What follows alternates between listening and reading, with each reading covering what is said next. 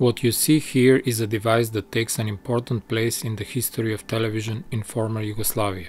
It dates back to the 70s and it was usually seen next to the oldest models of black and white TV receivers in the homes of our grandparents or other older relatives.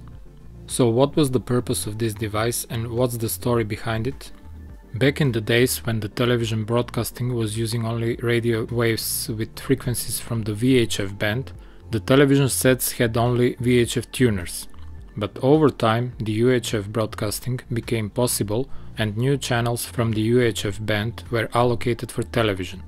So, after the UHF broadcasting was established, the newer TVs that were designed and manufactured at that time, besides the VHF tuners, had UHF tuners as well and could receive channels from both bands.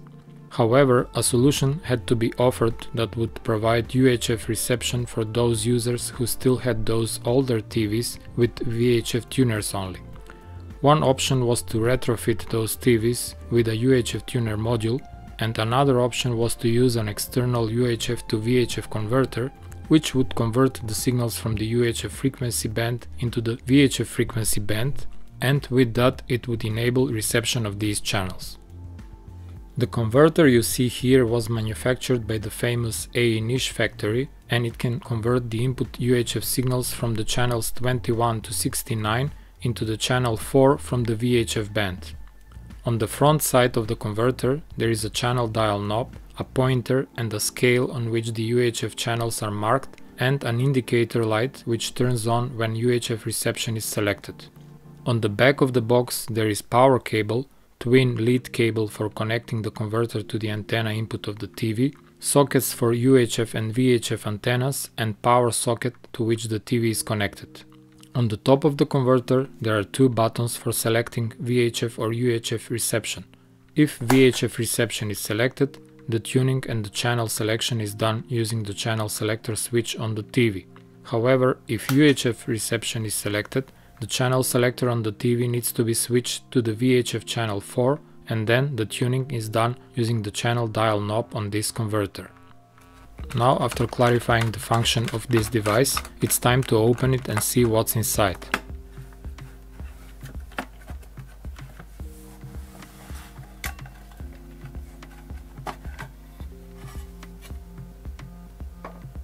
On the left side we see the power supply and the switches for the band selection and on the right side we see the actual UHF tuner and converter module.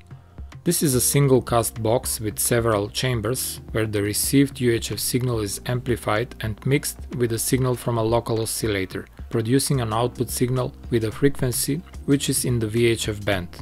I'm not going to open this one, but I can show you one such box that I removed from a converter from a different manufacturer a long time ago. I also removed the components that were inside, so what is left to be seen is just the rotary variable capacitors and the chambers. This is a simplified diagram showing the basic building blocks of this and other similar UHF to VHF converters. Based on the information and the schematics available for the transistor-based UHF tuners and converters produced by Niš at that time, the transistors used in this module should be AF239 and AF139, which are both PNP germanium transistors. What's important to note for this particular model is that the primary coil of the power supply transformer is not directly connected to the mains power, as you might have expected, but is actually connected in series with the power socket on the back, which means that it will be in series with the TV which is to be powered from this power socket. For both devices to work properly and without reducing the voltage for the TV, the transformer is actually designed for a nominal primary voltage of just a couple of volts instead of 220 volts and it has very low impedance on its primary side. On the following photo you can see that the primary coil wire diameter is bigger than what it would be in the case if this transformer was to be connected directly to the mains. So, if we connect the converter to power and there is no TV or other device plugged to the power socket on the back, there will be no voltage to the primary of the transformer, which is what we see on this demonstration. The indicator light on the front panel is powered separately and it will be on if the switch for UHF reception is on, but the converter module is not getting any power in this case. The situation changes when there is something plugged to the power socket on the back, and to show you the difference I plugged one of my soldering irons to this power socket. Now we can see that there is AC voltage present to the primary of the transformer and there is some DC voltage at the output of the power supply section. Normally this voltage should be about 12 volts DC, but in this case it's lower because the soldering iron consumes less power than the TV that was assumed to be connected to this socket. During these initial checks, I noticed that the power cable plug failed the continuity test when it was bent in certain positions, so I changed it with a different one. That was the only repair that I did so far. Now let's find out if this converter is still operational after all these years. In absence of TV stations that use analog terrestrial transmission of their programs, I'll use this television pattern generator from Grundig as a source of UHF signal. This generator is capable of generating various test patterns on all standard VHF and UHF channels. In this initial setup, which is to verify that both the generator and the TV are operational, the signal is fed from the RF output of the generator directly to the antenna input of the TV. First I'm going to set the output to the VHF channel 4 and then to the UHF channel 36. Once I select the proper channel on the TV, we will see the standard color bars pattern displayed on the TV screen.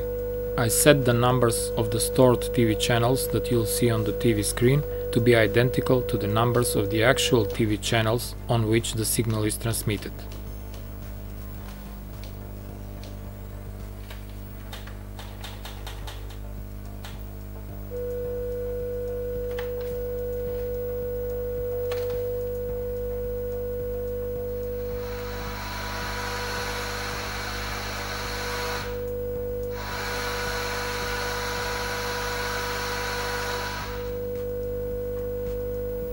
Finally, in this setup, the UHF converter is connected between the generator and the TV. Since the converter uses twin lead 300 ohms flat cable for the RF connections, and the generator and the TV both use 75 ohms coaxial cable, I'm using these 75 ohms to 300 ohms and 300 ohms to 75 ohms impedance matching transformers to avoid unwanted signal reflections. My video light is plugged to the power socket of the converter to act as a load that is necessary for proper operation of the converter, as I previously explained. The generator is already set to the UHF channel 36 and now I'm setting the TV for VHF reception on channel 4.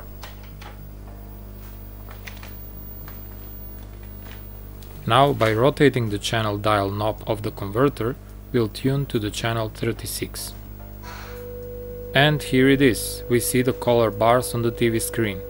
With this, we confirm that this converter is still operational roughly 50 years after it was manufactured.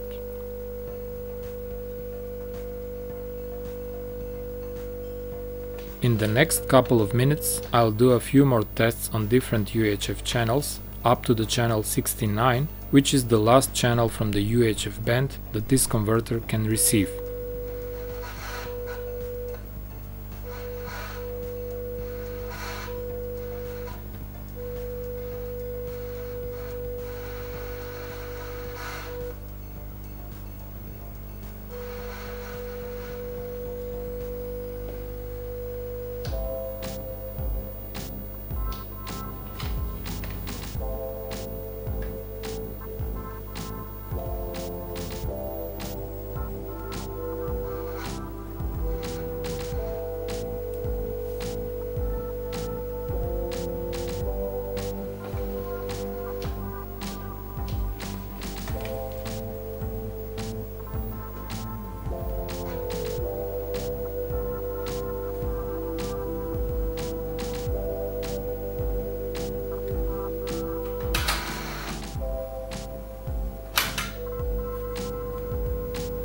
So that was it for this video. I hope that you learned an interesting lesson from the history of television. Thank you for watching and goodbye.